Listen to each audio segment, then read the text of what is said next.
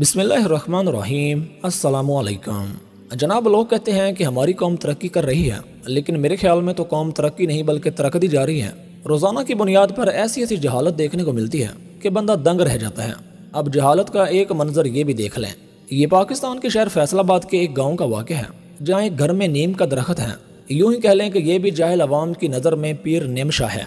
इस दरख्त की एक लकड़ी से किसी वजह से सिम सिमाता हुआ पानी का टावा टावा कतरा गिरने लगता है। जैसे ही घर वालों को पता चला कि हैं, साढ़े का रिश्ता मुर्जा शरीफ हो गया। घर वालों ने दरख्त के नीचे एक बाल्टी रख दी, जिसमें पानी का कतरा कतरा गिरता रहा। जैसे ही पानी थोड़ा जमा हो जाता तो लोग चंद चंद कतरे पानी के अपने घर ले जाते। दरअसल बात ये फैलाई गई कि ये पानी तो बरकत वाला है, ये तो कुदरत का एक निराला तोहफा है। और बात ये भी फैलाई गई कि ये जो जानवर में वबा आई हुई है, अगर ये पानी उस जानवर को लगाया जाए तो बीमारी ठीक हो जाती है। और रात को गाँव के कई सारे लोग बर्तन इनके घर एडवांस ही रख जाते हैं। कि सुबह हमें भी थोड़ा सा पानी ज़रूर दें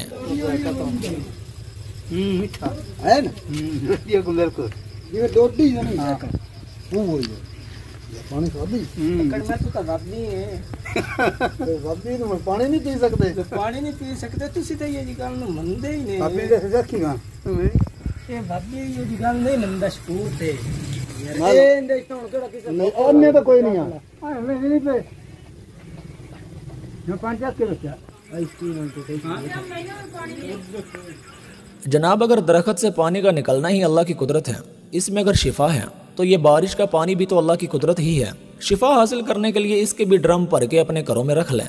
अब ज़रा ये देखें, यहाँ तो दरख्तों से पानी की टूटियाँ ही चल रही हैं, लेकिन यहाँ इस पानी से शिफा हासिल करने वाला कोई नहीं है। इसलिए कि ये पाकिस्तान, इंडिया, बांग्लादेश नहीं है। जहालत के ये अंबार हमारे इन देशों में पाए जाते हैं। दोस्तों, यकीन जाने ये कौम इतनी जाहिल हो चुकी है।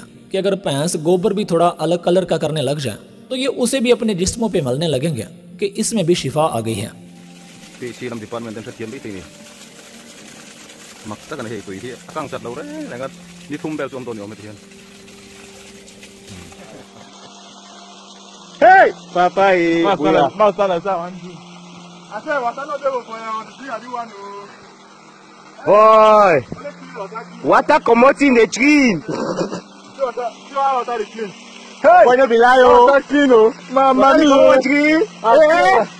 Na si so si oh.